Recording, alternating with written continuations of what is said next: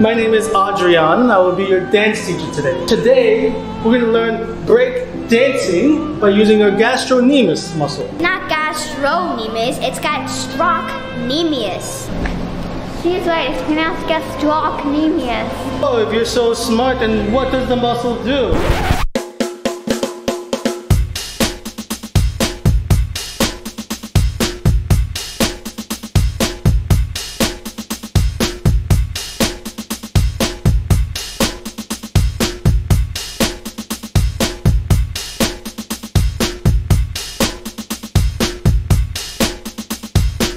That's cute.